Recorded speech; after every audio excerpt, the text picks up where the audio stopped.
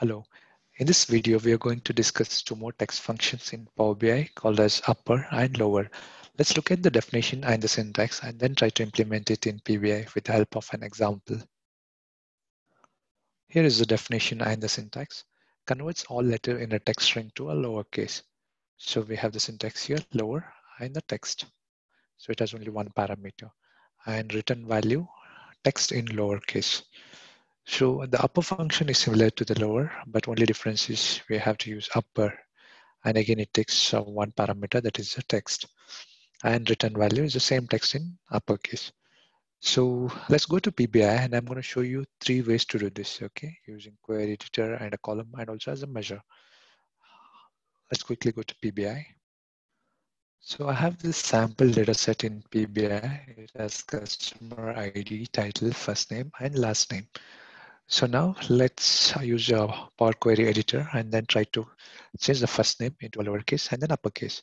So what I'm going to do is right click on the first name here and then have edit query. So click on that. So it opens the Power Query editor.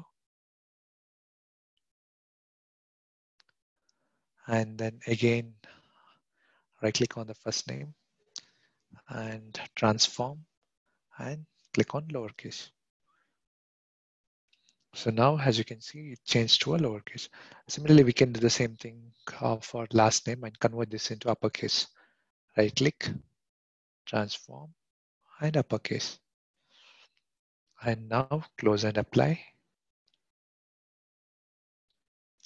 Give it a second.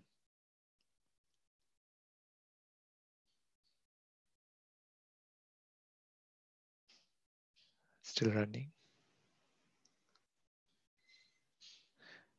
Okay, so now if you notice here, it has first name, which is in lowercase, and the last name, which we changed to uppercase. So if you want to convert this back, you can right click here. If you want to undo this changes, click on edit query.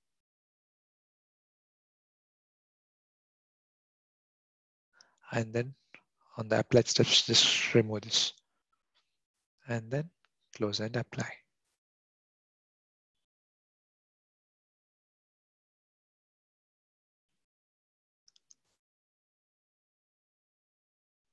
So give it a few seconds.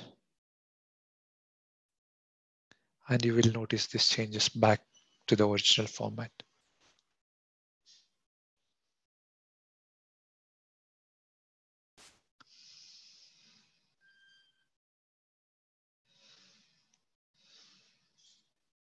And it's still, still running.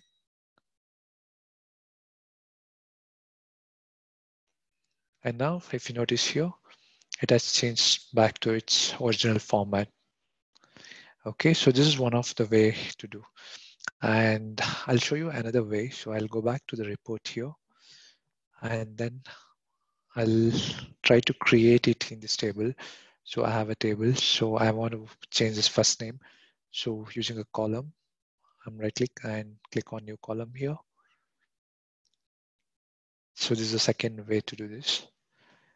So I'm, I'm going to call this as lower,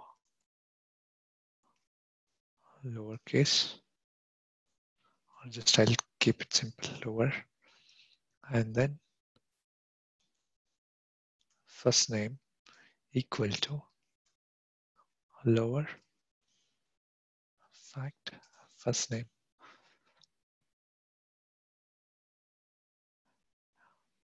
So now if I bring this here, I should be getting this in lowercase.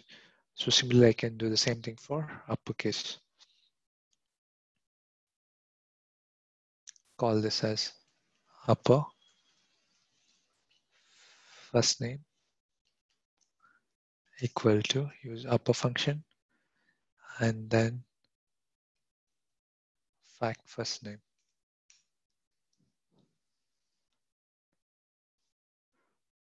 So if I bring this here, it should be in uppercase. So now it's using a column, new column. So let's suppose someone wants to do this in a measure. Due to some reason, they want to bring this as a measure. So right click and create a new measure. Let's try with the lower first. Lower. first name.